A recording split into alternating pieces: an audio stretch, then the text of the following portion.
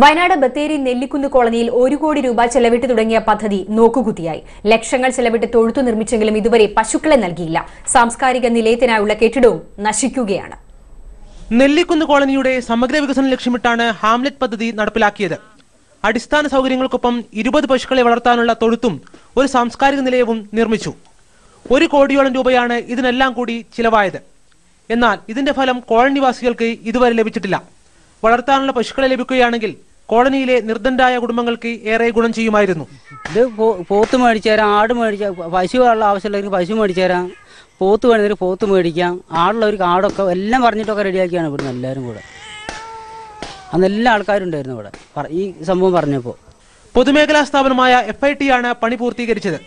എന്നാൽ നിർമ്മാണത്തിൽ അപാകതയുണ്ടെന്ന് tribal extension office വകുപ്പിന് ശുപാർശ ചെയ്തു. അത് പരിഹരിച്ചാൽ മാത്രമേ പദ്ധതി നടപ്പിലാക്കാനാവൂ എന്നാണ് വകുപ്പിന്റെ നിലപാട്. KM Manorama News, Payanad.